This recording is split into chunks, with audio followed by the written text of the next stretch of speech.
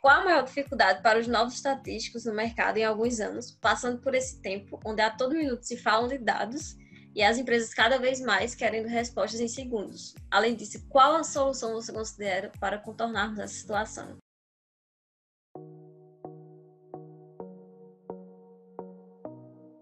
O que eu farei? Essa é a pergunta que os estatísticos mais se fazem desde que iniciam a graduação. E é por isso que hoje estamos aqui com Ranieri Ramos, bastante reconhecida aí na nossa área pelo blog O Estatístico. Quem faz estatística ainda não ouviu falar desse do blog dele, é porque tá fazendo estatística errado. Enfim.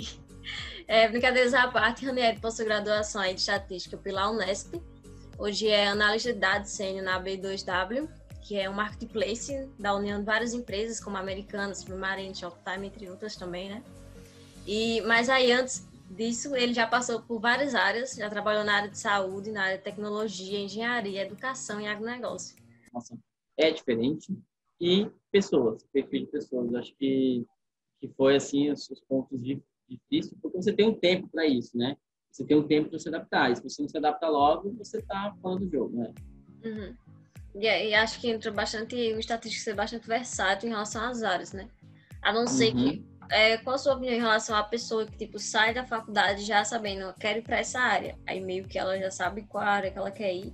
Tipo, eu só quero ficar nessa área. Por exemplo, eu quero ir para área de finanças, eu quero ficar nessa área. Tipo, você acha que isso é bom ou acaba sendo ruim? O bom é porque a pessoa vai focar mais tempo, a pessoa vai realmente aprofundar naquele assunto, vai ficar expert naquele assunto. Ou ruim, não sei, por algum motivo aí que você acha. É, lembra, durante muito eu foquei em saúde porque me le... fui levado para a saúde, gostei, amo a saúde, até hoje apaixonado por essa área de saúde. E, e assim, é, é, eu fiquei nesse universo né, de, de, análise de saúde. E por muito tempo, eu, eu mesmo acreditava, Bia, que se eu saísse ia ser ruim para mim, porque eu ia perder todo o meu conhecimento, eu ia sair da minha força, eu ia deixar de ser um estatístico especialista na área da saúde para ser um estatístico que vai começar a aprender o que é varejo, como é que se compra online, como é que vende online, como é que você faz o pedido na internet e eu na sua casa o mais rápido possível, com o menor preço, sabe? Todas essas condições, com o melhor seller vendedor para você.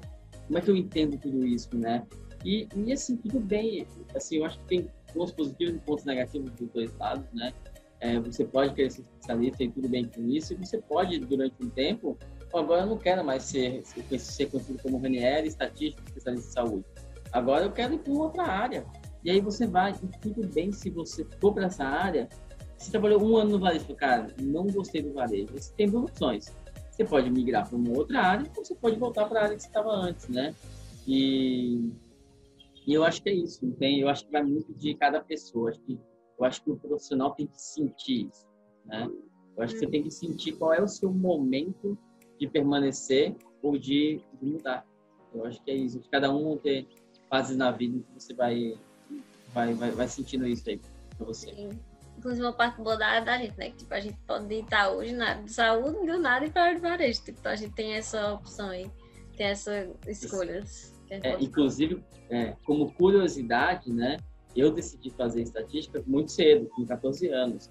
E o que mais me chamou na estatística foi porque a estatística, né? Eu conheci ela ali com 14 anos, pelo menos ela era algo que eu vislumbrei lá atrás, que seria algo que eu poderia aprender, né, matemática falando ali, e que eu poderia aplicar em todas as áreas que tinha, porque, e, e, assim, na época, né, 14, 15 anos, eu gostava de ciências, eu gostava de, de biologia, eu gostava de matemática, eu gostava de várias áreas.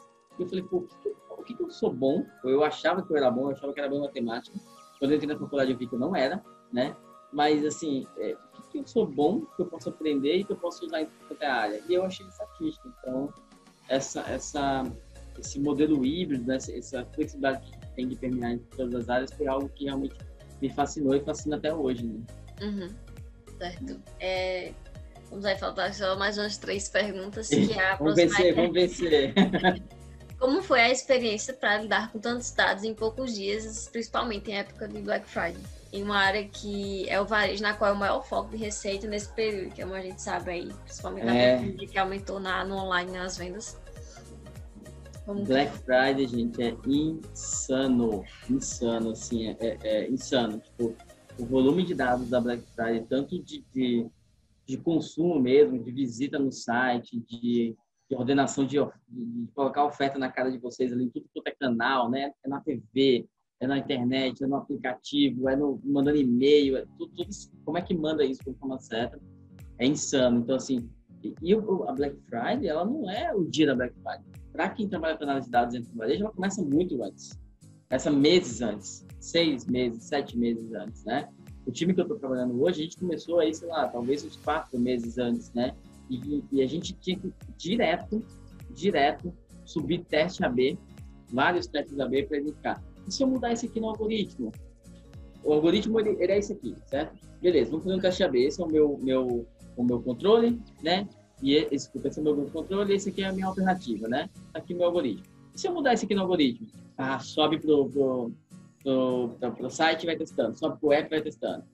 Olha o resultado e vê. E se eu mudar isso aqui? E se eu mudar isso aqui? Só que esse se mudar isso aqui são N combinações, M vezes N combinações. Você tem que testar tudo isso e testar rápido, colher resultado rápido para chegar perto da e assim, ó, o que deu certo foi isso aqui. Vamos subir? E tem que ser muito, muito apurado essa sua resposta, porque, porque qualquer coisinha que você subir que altere 0,01% do seu modelo são milhões de reais em venda. Então, assim, você tem que garantir o máximo que você conseguir que a alteração que você fez vai trazer dinheiro para a companhia. Então, é algo realmente muito sério. E, assim, é uma época, assim, principalmente no último mês, que você trabalha direto. Então, assim, se você está pensando em vir para o varejo, trabalhar com dados, né? É, já põe na sua mente. Um, dois meses antes da Black Friday é de segunda a segunda trabalhando, tá? Mas depois você folga, você relaxa e tal. Mas esse período, ninguém tira férias, ninguém tira folga, é todo mundo fazendo teste, testando modelo, vendo latência de banco de dados, é, para garantir que o site não caia, que os produtos apareçam, que a gente consiga entregar no tempo certo, que a gente consiga vender com melhor preço e por aí vai. Mas é, é um, um, período em que você, você começa, se você não tiver isso ainda, né? Você começa a entender como é trabalhar sob pressão e como é que você, você se conhece, tem um processo de autoconhecimento aí muito grande, de como é que você lida com pressão e como é que você consegue entregar resultado nesse ambiente aí. Né? Acho uhum. que é, é isso. Certo. É, por você já ter passado por várias empresas e lidado com diversos estatísticos e profissionais, quais habilidades mais importantes você acredita fazer total diferença na carreira de um estatístico para se destacar em empresas hoje? Uh, acho que a gente falou Vai. um pouquinho sobre, é, sobre nas conversas que a gente está tendo, a gente falou um pouquinho sobre isso, mas eu destacaria habilidades do estatístico que ele tem que desenvolver e aí eu não vou, eu vou fugir aqui um pouco das habilidades técnicas, tá? Porque ela muda, ela vai mudar assim de certeza, certeza. Mas o estatístico tem que focar muito em comunicação. Como é que você, Bia, como é que você que está assistindo essa entrevista aqui, tem se comunicado com o seu cliente, né? Com o seu público-alvo, né? Com quem você quer passar a mensagem, seja ela na companhia que você trabalha, seja ela dentro da universidade, seja ela em comunidade, seja ela na internet, no LinkedIn, no Instagram, onde mais você esteja. Como é que você está passando a sua mensagem? Será que quem está ouvindo do outro lado conseguiu captar, conseguiu entender o que você está falando? Comunicação é o primeiro passo. Adaptabilidade, a gente falou sobre isso, né? Então, assim, como é que eu me adapto? Eu falei aqui nessa entrevista recentemente que eu fazia parte de um grupo, de um time, né? Lá de um time de Business Analytics. Uhum. Quando eu estava adaptado nesse time, seis meses trabalhando aqui, já entregue alguns, alguns, alguns resultados, já entendendo como essa área funciona, eu fui convidado para participar de uma outra área. Né? Essa área menor, de quatro pessoas, que cuidam de alguns algoritmos lá de relevância. E aí, o que, que aconteceu? Bom, eu tive que fazer o quê? Eu, eu aceitei o desafio, fui para essa outra área, tive que fazer o quê? Me adaptar. E por mais que seja a mesma companhia e o mesmo negócio, o que, essa, o que esse time faz hoje é totalmente diferente do que o time que o time que eu dava faz. Totalmente diferente. São outros bancos de dados, outros problemas para resolver, enfim, coisas muito mais complexas do que eu fazia antes. Entendeu? Então, assim, é, você precisa se adaptar. Então, a gente falou de comunicação, adaptabilidade. Bom, você tem que desenvolver a habilidade de querer resolver problemas, de, de, de, de, porque assim, a gente, as pessoas se enganam, né? Elas falam que é, muita gente fala assim, ah, eu sou contratado para trabalhar. Não, você não é contratado para trabalhar, você é contratado para resolver problema. Eu tenho um problema aqui, eu acredito que eu te contratei porque você tem essas habilidades A, B, C, D e E, E eu acredito que você é capaz de resolver esse problema em X tempo. E é para isso, não é para você ficar batendo ponto e a pandemia mostrou isso para a gente porque ninguém mais bate né? Todo mundo trabalhando de casa, ou a maioria das pessoas trabalhando de casa. Mas é, é, é isso, então assim, você tem que, que ser capaz de resolver problemas. Uma outra coisa que eu colocaria aqui de habilidade é você tem que desenvolver capacidade, isso é muito importante, de aprender e aprender rápido. Aprender novamente, aprender coisas novas, e a gente tem uma vantagem enorme no dia de hoje, porque a gente tem o quê? Internet. internet né? E a internet está cada vez mais barata, a gente está cada vez mais rápido. Então você senta na cadeira da sua casa, no sofá da sua casa, onde for, num, num, num café. Hoje a gente não está saindo muito por causa da pandemia, mas fazia muito isso, muito. Então você senta, hoje eu vou aprender Ranieri SQL, sem nada. Vai lá no Google, ah, mas eu não tenho grana para fazer um curso no Coursera, Data Science Academy, no, no, no edX, eu não tenho grana. No YouTube, um monte de gente hoje ensinando coisa de graça. Vai ler blog, entendeu? Vai entrar em fórum, entra em comunidade. Tem dúvida? Procura na internet quem faz isso, troca ideia, não tenha medo. Não é porque alguém está no. A Bia está aqui para falar isso. Ela está na universidade, né? No metade da universidade, e quantas pessoas ela se conectou e conectou todos vocês que estão no mercado de trabalho há 5 anos, 10, 15, que trabalham em empresas gigantes, como B2W Digital, Facebook, que mais, Bia, você, você, você entrevistou galera de empresas grandes? Que é a última aí, que é a Neurotech, que foi inclusive o CEO, que é a última entrevista da Neurotech, que é estatístico também. Teve a Doris. E... A Doris, meu Deus, a Doris, gente. Então, assim, quem, não, quem, quem tá na estatística e não conhece a Doris, tá no curso errado. Né? Então, Doris, beijo pra você. Faz tempo que a gente não se vê, Doris. Aí, mas eu vou te encontrar ainda. Mas, mas é isso, entendeu? Então, assim, é, é, é, é é, é, isso que a gente tem que ter. E a gente tem que parar de pensar que agora eu acabei a faculdade de estatística, eu passei 6, 7 anos, eu sei tudo. Você não sabe nada. Você sabe, você tem uma base que vai te dar um caminho para você aprender coisas novas. Então, assim, voltando aqui, seria né, é, comunicação, adaptabilidade, capacidade de resolver problema. É, é, o que eu falei agora? É, meu Deus, esqueci. Capacidade de resolver problema, é, capacidade de aprender rápido, né? Nos uhum. quatro, eu falei assim igual alemão, né? Assim, alemão conta daqui para cá, três é assim. É. Mas é, mas é isso, entendeu? Então essas habilidades assim que a gente pode chamar talvez de soft skills aí. Uhum. E, galera, e assim muito network, muitos network que é importante e é bem bacana aí para vocês poderem conhecer as coisas. Não é porque vocês estão na faculdade aí, quem, tá, quem ainda está na faculdade, vocês não podem pensar fora da, da universidade, né? Vocês devem pensar fora da universidade. Uhum. É importante. Inclusive, até esse network é tão importante que o próprio estatístico que está hoje no Facebook, ele está lá por conta do network que ele fez. Então, tipo assim, foi conhecido do conhecido dele, que ele está lá hoje. Então, tipo assim, o network realmente leva muito longe. Ah, leva. Eu, eu estou na B2W hoje não por causa do network, mas por causa do blog e por causa do LinkedIn. Por que, que eu estou falando isso? Porque o, o, o, gerente, eu fui, eu fui contratado por um gerente, né, W2W. Uhum. E ele me achou no LinkedIn, mas ele só me achou no LinkedIn. Olha só, ele só me achou no LinkedIn porque alguém mandou um texto meu para ele pelo WhatsApp do blog.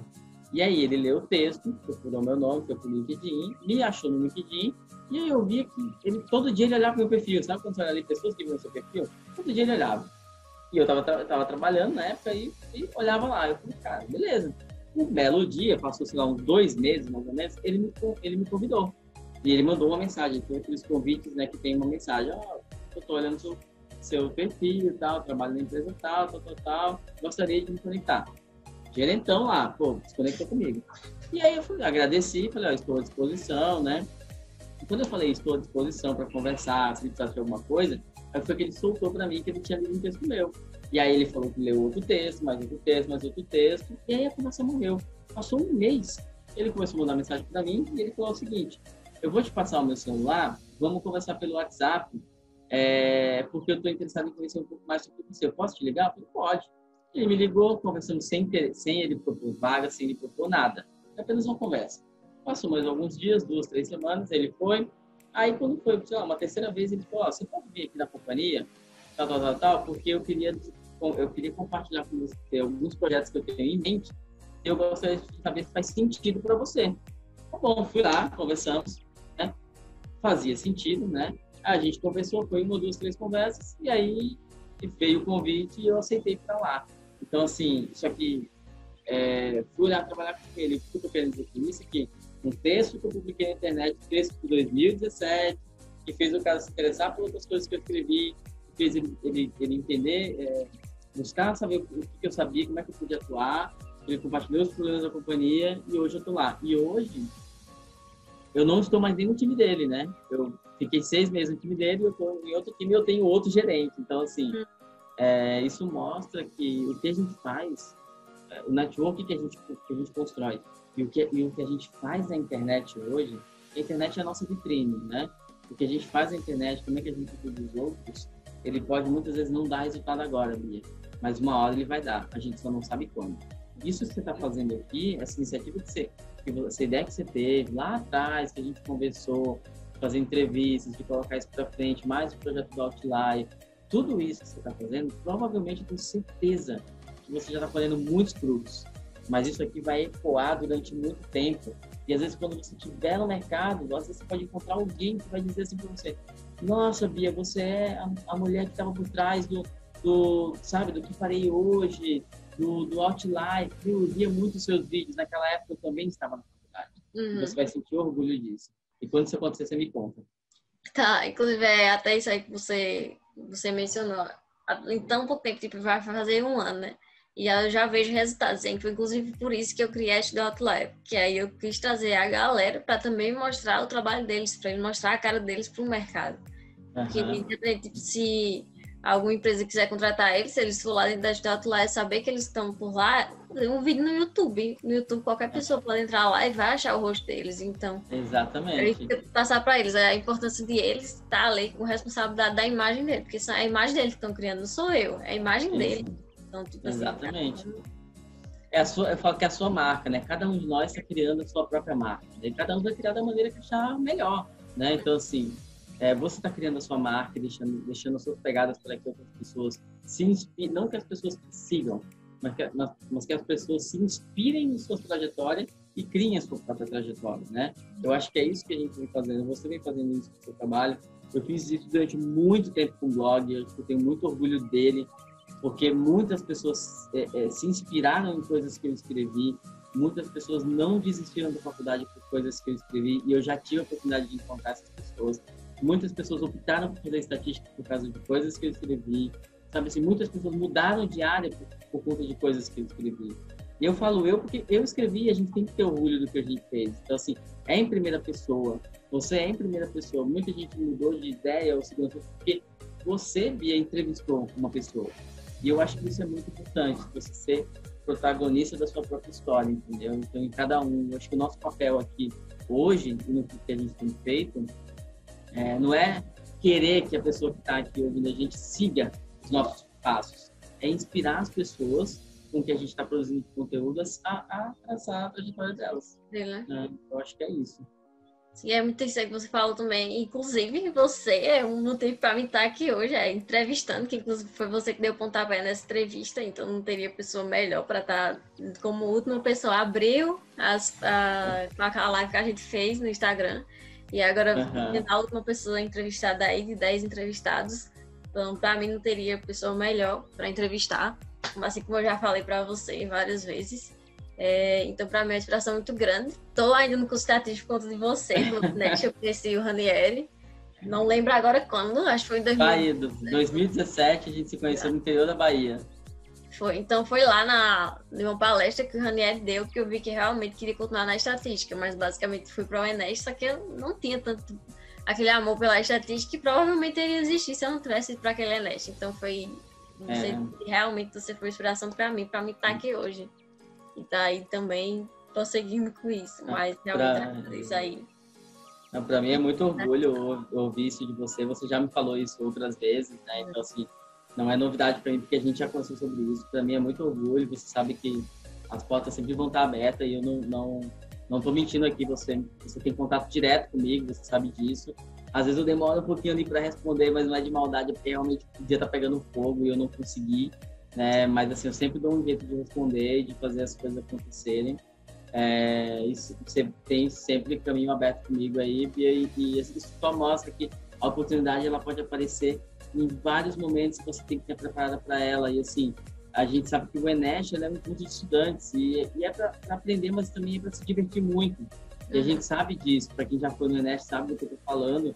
E, e, e, a Bia foi lá para aprender para se divertir. Num momento desse ela teve uma ideia e se conectou comigo. E a gente vem de lá até hoje, final quase 2021, né? Então, acho que eu mudei de lá para cá, a Bia mudou de lá cá, acredito que a gente, nós se tornamos pessoas melhores e a gente quer ajudar todo mundo aí a, a seguir esse caminho, né? Uhum. Mas é essa paixão pela estatística, apesar das raivas que a estatística dá às vezes na gente, principalmente enquanto estudante. Dá nada, né? Então, a gente não passa raiva, não cai no cabelo, a gente não fica com espinha no rosto, a é. gente consegue dormir. Dormir. Quem é que não consegue dormir 8, 8, 9, 10 horas no curso de estatística? A gente não tem crise de ansiedade, não tem dor no estômago, não, quer, não tem vontade de jogar o caderno no professor. Nada de. Não, não tem isso, não acontece, Bia. Não pode, esse pensamento não pode estar. A gente não tem, às vezes, sintomas de depressão, vontade de desistir, vontade de chorar, vontade de abandonar uma aula, né? vontade de contar para os pais né? Aquela não, quero voltar para casa. Mãe, já fiz três anos, pai, já fiz três, mas não quero mais. Vontade de achar. Vontade não. É aquela sensação de que você não sabe nada e vai fracassar uhum. quando você está no mercado de trabalho, né? Aquele papo que você queria ter com o professor, mas ele não vai entender o que você quer dizer. Você convenceu o professor de que você não quer ser acadêmico, que você quer ir para o mercado de trabalho. Caramba, quanta coisa não passa na sua cabeça. Eu tenho certeza que isso nunca passou por É, realmente. Eu de ninguém tá aqui. é, é, botar a imagem externa pra gente concluir essa conversa. Vamos é... lá. Nessas áreas. pra caramba, gente. Né? É... Se deixar, a gente fica aqui tomando café o dia inteiro, tá? Pior que é. é. Nessas áreas que você atuou, o que mais te agregou como profissional que você aprendeu? Cara, essa pergunta é muito difícil. Pessoal. Pessoal. Pessoal, é, como pessoa, acho, né? Assim, uhum. aprendizado, né? Sim. É... é uma pergunta difícil, tá? Eu posso responder aqui, vou, vou responder o que vem em mente, né? Assim, eu aprendi a ser, ser um, uma pessoa melhor, né? Assim, a ser uma pessoa... Também aprendi com blog, mas aprendi dentro da... Assim, sempre ser uma pessoa que está ali para... Uma coisa que eu gosto muito de fazer é conectar pessoas, né? Então, assim, eu gosto uma coisa que eu aprendi muito, que isso é importante nas empresas, que é o seguinte, às vezes eu não sei fazer, mas eu conheço alguém que sabe. Às vezes eu, eu sei lá, eu não, não tô, eu não, eu sei fazer, mas eu não posso fazer naquele momento. Mas eu conheço alguém que sabe. É Como é que eu conecto? Né? Você que falou. Exatamente. Né? Ontem mesmo eu recebi uma proposta para ajudar um amigo, um grande amigo, amigo de infância. O cara tem uma empresa, uma empresa grande no interior de São Paulo. E ele precisa muito de ajuda para trabalhar numa parte lá enfim, desenhar um projeto de modelagem estatística lá de um cliente que ele tem que é muito grande. Eu gostaria muito de ajudá-lo, muito. Mas eu não posso me comprometer porque eu sei que eu não vou dar conta, entendeu, Então, assim, o que, eu estou tentando fazer nesse momento? Eu estou tentando entender um pouco mais do problema que ele está passando, de qual é o problema do cliente dele, da dor do cliente dele, para tentar ajudar, pelo menos, a desenhar o tipo de profissional que ele precisa para tentar conectar essas pessoas. Porque eu preciso entender o que ele quer qual é o problema dele. Porque senão eu vou conectar errado e aí a gente vai perder tempo. Mas assim, gostaria muito de ajudá-lo, mas realmente assim, eu, hoje eu não tenho capacidade de tempo, nem, nem, nem físico, nem mental para fazer isso, né? Então, é, eu vou conectar provavelmente ele a outras pessoas. Então, assim, eu aprendi a conectar é muito importante. Eu aprendi que ter empatia, mas isso eu já aprendi há muito tempo, né? Assim, ter empatia é muito importante. Se colocar no lugar do outro é muito importante, né? Então, assim, às vezes você pede ajuda para um colega e ele não pode ajudar naquele momento, não é de maldade, mas ele está tão atolado que, tipo assim, reverte. Uhum. E ao invés de pedir ajuda, pergunta para ele se ele está precisando da sua ajuda. Ele tenta ajudar ele, porque um disco volta, sempre volta. Na maioria das vezes volta. Só não volta se a pessoa filha da puta mesmo, aí volta, entendeu? Mas fora isso, volta. Mas assim, é, é, é, eu acho que, que é isso. Não sei se eu respondi, sabe? Mas essa questão da empatia e essa questão de conexão, para mim, ela, ela é muito forte, ela já está em mim há muito tempo, né? Sim. Por, por que, que eu estou falando isso?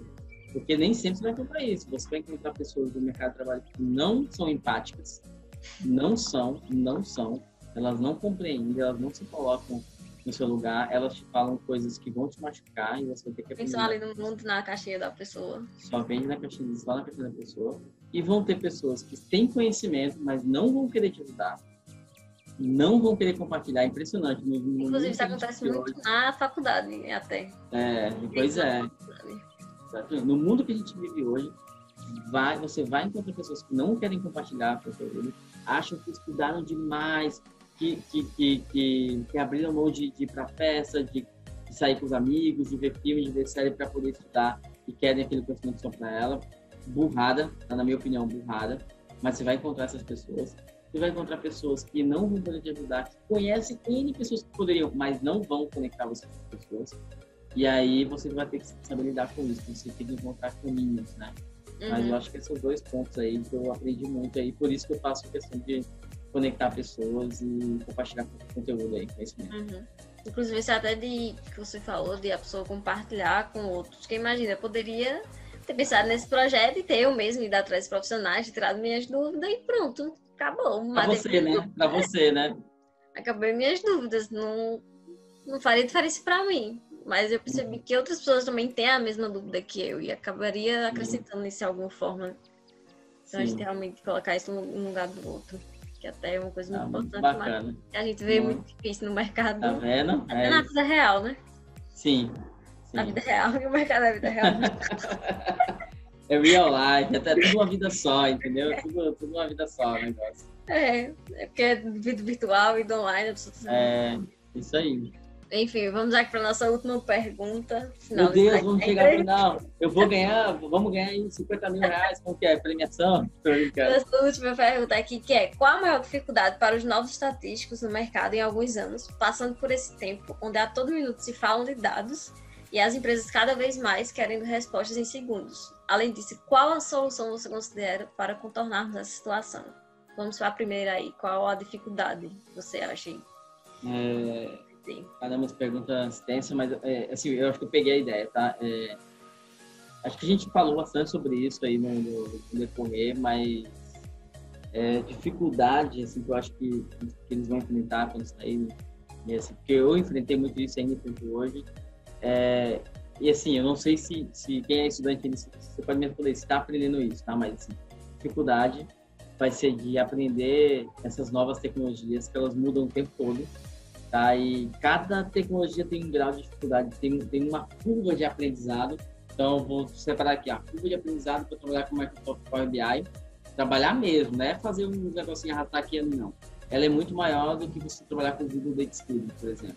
Então, assim, cada ferramenta vai ter um grau de dificuldade. O grau de dificuldade de trabalhar com R, né, não me julguem aqui quem está aí ouvindo, mas, mas vai saber o que eu estou dizendo. O grau de dificuldade de trabalhar com linguagem R, ele é muito maior do que você trabalhar com Python. Por isso que o Python está tá tão, tá tão democratizado, né? Você aprende Python mais rápido, o essencial, do que você aprende estatística, o R. O R você também tem, é uma linguagem é, feita por estatísticos para estatísticos, né? Então ela já tem mais assim, de mais conceito ali para você trabalhar nela. Então, é, eu acho que assim, dificuldade vai ser tecnologia. E, e o estatístico, Lia, na minha opinião, ele precisa aprender a trabalhar com tecnologia, porque a tecnologia, as ferramentas de tecnologia vão escalar o trabalho dele. Né? Uhum. Né? Então, assim, dificilmente você vai chegar numa empresa, não sei que ela seja muito pequena, e você vai pegar uma coisa que você consegue trabalhar na sua máquina. Eu tô falando de realidade, tá? Ou, ou, ou no Excel da vida, ou no R, nos arquivos bem pequenininhos. O volume está muito grande hoje. E você só consegue escalar você trabalhar com ferramentas de tecnologia. Eu estou falando de cloud computing, de, de, computação em nuvem, né?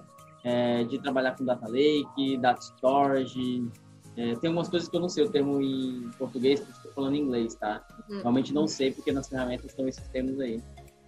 É, com, com, plataforma de dados, sabe? É, com coisas desse tipo. E assim, até onde eu sei, a gente não aprende essas coisas na faculdade. Posso estar errado, não sei como é está hoje, né?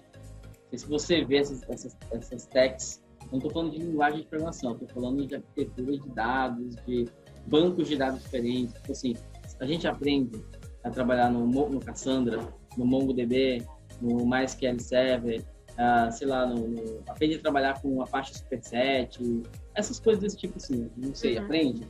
Já ouviram falar? Então, acho, acho que é, deve ter algum curso, se eu não me engano, alguma extensão. É, não tá, então, acho... Mas outro não. Eu sei que tipo Python foi até agora que entrou na uhum. das ferramentas, a aprendizagem de máquina, que é tipo tá remodelando uhum. as coisas da faculdade. Uhum. Mas esses daí que você falou não. É, então eu acho, eu acho que isso é uma dificuldade. Porque, por que é uma dificuldade? Porque a gente não vê na faculdade e quando a gente entrar no mercado, a gente vai ter que aprender rápido. E aí você pode encontrar é, alguns problemas, como por exemplo, a pessoa que encontra a primeira dificuldade e desiste, ela vai ter problema. Vai ser difícil para ela. A pessoa que não sabe inglês, ou sabe muito, muito, muito pouco, ela vai ter dificuldades. Porque a maioria dessas tecnologias é tudo documentação em inglês. Você vai encontrar meia dúzia de coisa em português, você não vai encontrar em outro língua. É em inglês. A pessoa que não gosta de aprender, ela vai encontrar dificuldade. A pessoa que não aprende rápido, ela vai encontrar dificuldade. Por quê? Porque vai ter alguém que vai aprender muito mais rápido que você. E se você for o último, né, você não vai se encaixar muito bem no time que você tem que trabalhar. Então, assim, eu vejo isso como uma dificuldade que os estatísticos têm que, têm que trabalhar. Solução?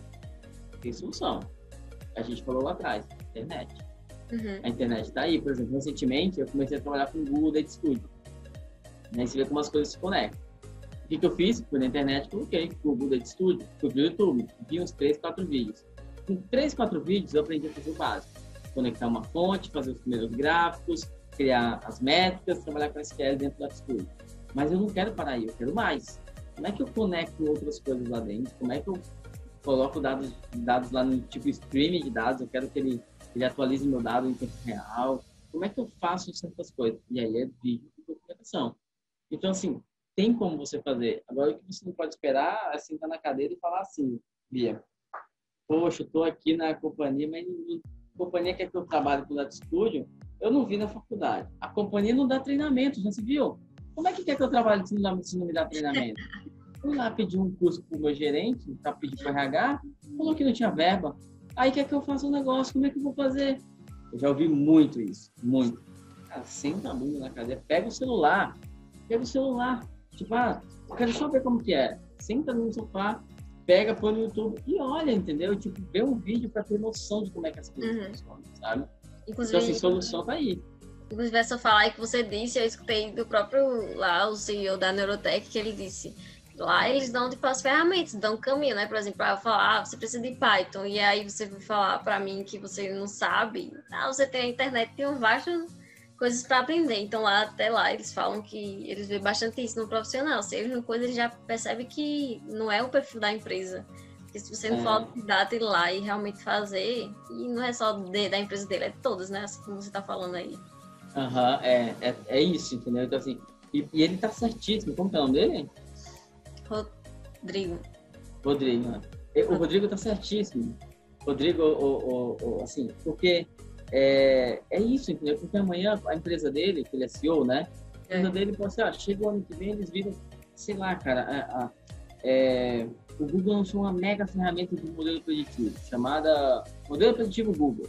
E ninguém sabe mexer naquilo, mas ele quer usar porque ele foi lá no Vale do Silício e ele viu que Netflix, Uber, não sei o que, tá tudo usando e conseguindo resultados fantásticos. Ele vai chegar aqui, vai colocar isso na empresa dele e colocar, ah, tá aqui, ó.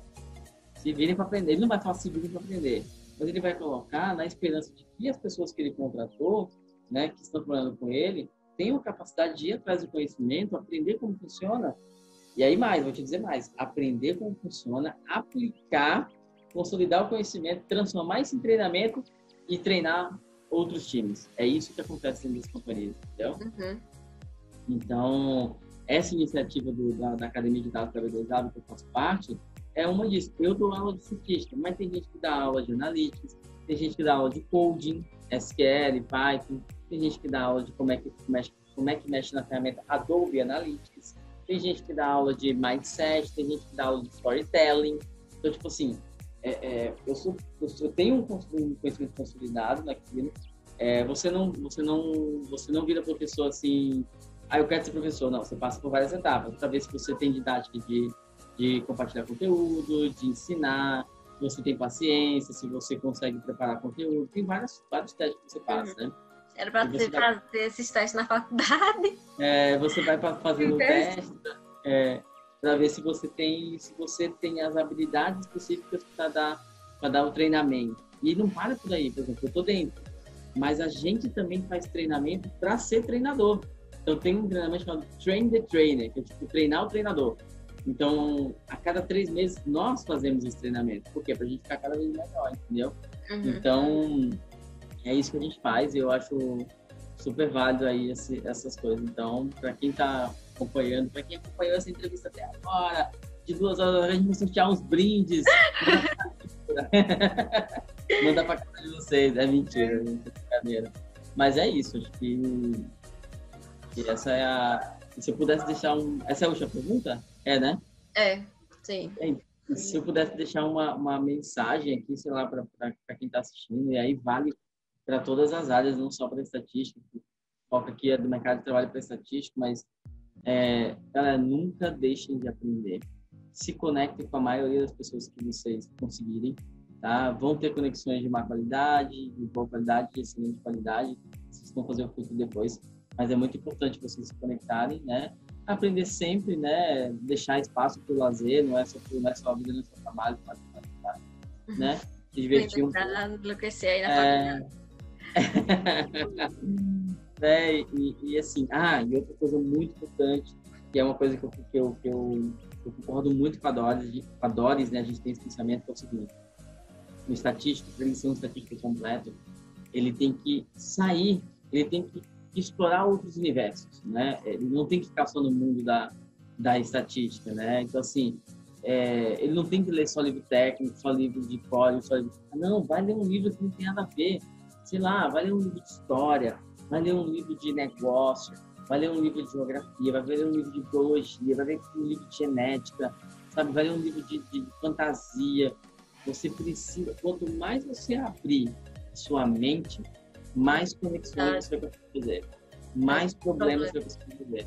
É, é muito tranquilo, assim, você vai, vai se tornar fácil você conseguir ler algo, enxergar um problema e fazer analogia com o problema que você está tentando enfrentar. Isso vale para tudo, para filme, série, livros. Ah, mas Ranieri, eu não gosto de ler, Paraná, na escola porque eu era obrigada, que é uma literatura chata, caramba, tal. Vai ver um filme. Ah, mas não paciência para filme. Vai ver série, pode fazer qualquer coisa que te traga um conhecimento profissional que não seja só estatística. Uhum. Senão você vai ficar um profissional limitado e uma pessoa que só sabe falar de estatística, que não é, não é interessante. É literalmente fazer alguma coisa. Por exemplo, eu, eu treino jiu-jitsu e eu consigo aplicar coisas que eu aprendo no jiu-jitsu dentro da, da estudante lá, dentro da, da minha área. Então não é, tipo, é, faz algo realmente que você gosta e vai fazer com prazer ali e vai realmente aprender e conseguir ligar as duas áreas, né? É isso aí, é isso aí. É, é, é isso aí, entendeu? Tudo hum. que você se conecta, tudo que você aprende, você vai fazer conexão com, com o que você tem que resolver na sua vida aí. Sim, Nada jogado fora. Enfim, a gente chegando aqui ao final da entrevista e das entrevistas aí durante o ano. A décima entrevista aí com o Ranieri. É, foi um prazer estar aqui com você, aqui mais, não sei, sei quanto tempo foi de entrevista, mas tenho certeza que vai acrescentar bastante na vida de quem está assistindo e vai dar nova visão a novas pessoas que verem isso. É, agradeço aí pelo seu conhecimento, parabéns pela sua jornada, principalmente por não ter desistido ali mesmo, passando oito anos e ver hoje a quantidade de pessoas que você é como inspiração, assim como para mim também, como eu sempre falo.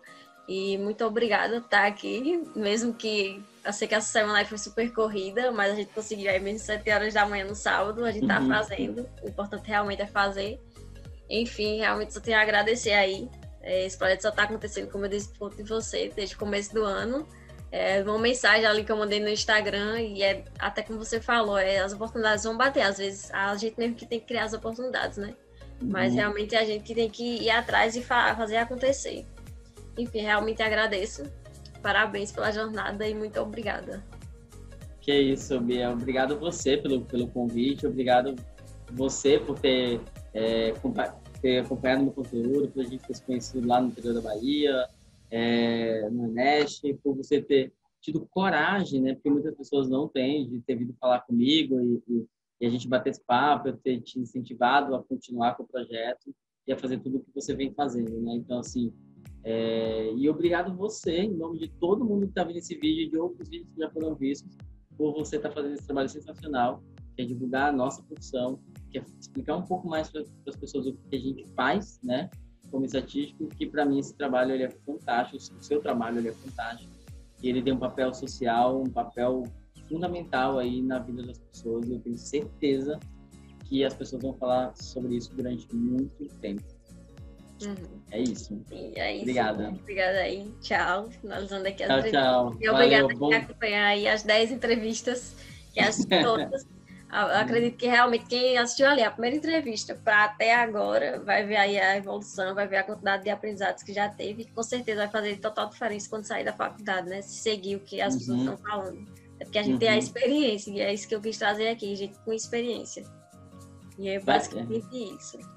É. Vai ter temporada 2? Calma aí, vai ter temporada 2, viu ou não? Brincadeira. Não.